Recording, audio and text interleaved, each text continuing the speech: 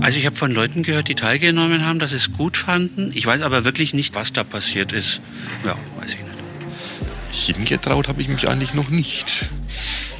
Mir ist nur der Name untergekommen. Ich kann dir überhaupt nicht sagen, was da drin passiert. Ähm, für mich ist es Brain Food, eine ganz ähm, breite Vielzahl an, an Themen und super engagierten Menschen. Ein, ein Tag voller Inspiration, voller Lernen, voller Input. Nicht mehr so äh, wie die Date früher das Image hatte, verstaubt und auf Papier und Plan. Ne? Da mag viel stehen. Aber das hier ist das Umsetzen des Ganzen. Das ist halt echt so ein ja, Spirit, den kriegt man, glaube ich, wirklich nur beim Digicamp.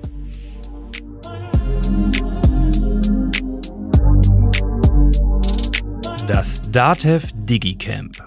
Ein Experiment organisationalen Lernens. Eine achtteilige Podcast-Serie von Audiograf Ingo Stoll. Kapitel 1 Prolog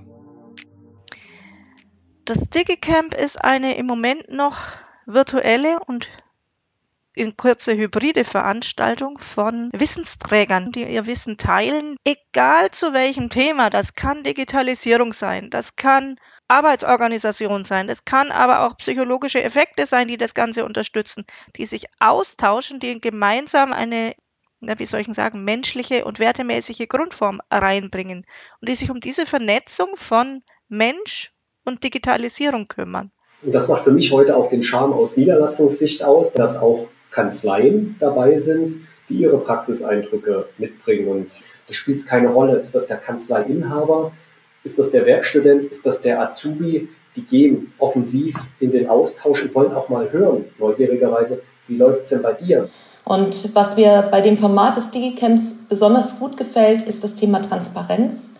Wir haben bei DATEV mit knapp 9000 Mitarbeitenden eine gewisse Größe erreicht und haben einen durchaus komplexes Produkt- und Angebotsportfolio und kaum jemand ist dabei normalerweise in der Lage, alles zu sehen, geschweige denn zu erfahren oder zu verstehen, was alles bei uns gleichzeitig passiert.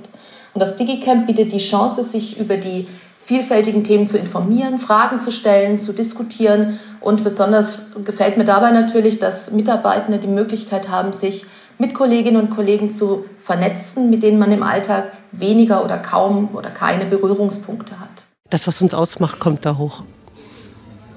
Das ist ein Für und Miteinander ähm, mit Menschen, die ja der DATEV ähm, zugewandt sind, also die einfach die Genossenschaft und unsere Kundinnen und Unternehmen einfach auch voranbringen wollen und über den Tellerrand gucken wollen. Vor allen Dingen über den Tellerrand gucken. Das ist so das Thema, was das Digicamp ausmacht, ja.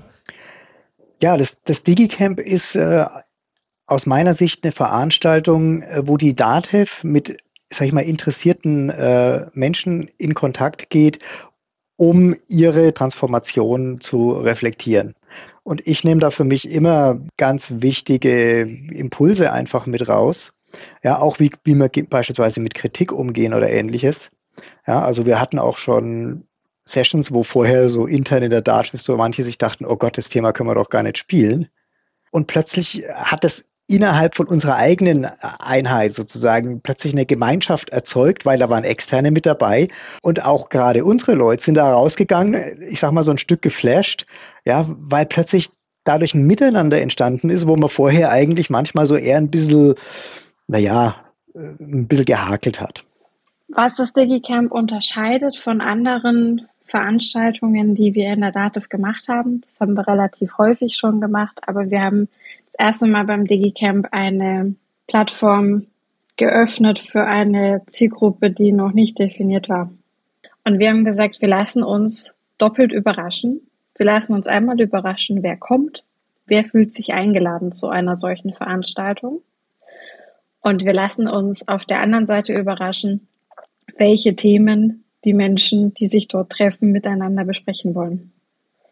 Also welche Themen sich für eine solche Bereichs-, Hierarchie- und unternehmensübergreifende Plattform eignen würden. Ich fand eigentlich seit Anfang an den Mut, sozusagen äh, Tickets auch an Externe zu vergeben. Es gibt ja viele Organisationen, die bis heute, wir sind 2023, immer noch kein internes Barcamp äh, haben. Ja, aber dann zu sagen, wir machen nicht nur ein internes Barcamp, sondern schätzen es wert, dass Leute von extern kommen, dass da einfach Impulse von außerhalb mit reinkommen. Klar, man muss in Sessions ein bisschen aufpassen, dass man jetzt nicht äh, Geheimhaltungsrelevantes ausplaudert, aber ich finde das ein großer Mehrwert. Und ich denke, damit übt man auch so die, die Offenheit, Offenheit für Wissen von außen, Offenheit auch das eigene Wissen zu teilen. Und das habe ich so noch nirgendwo anders erlebt. Wir erleben einen in diesen zwei, drei Tagen, muss man ja schon fast sagen, mit, mit dem Vorabend der ganz besonders ist. Also ich sage, das muss man erleben, um es zu verstehen.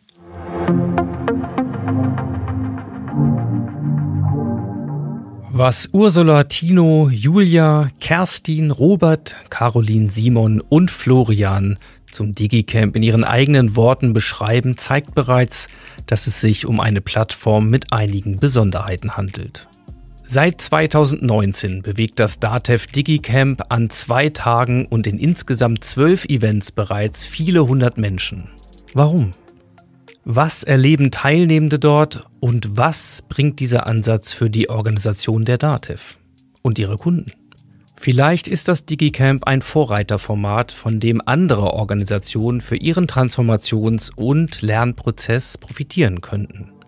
Vielleicht verbirgt sich dahinter jedoch eine ganz andere Geschichte. Ich möchte genau das herausfinden und darf dazu das Event und das Team DigiCamp in der Vorbereitung und Durchführung des 13. DigiCamp im November 2023 begleiten. Ein seltener Blick hinter die Kulissen. Denn wie Florian vom Team DigiCamp bereits richtigerweise anmerkt, was für ein wahnsinniger Aufwand dahinter steckt, so eine Veranstaltung zu stimmen. Der ganze Prozess im Hintergrund.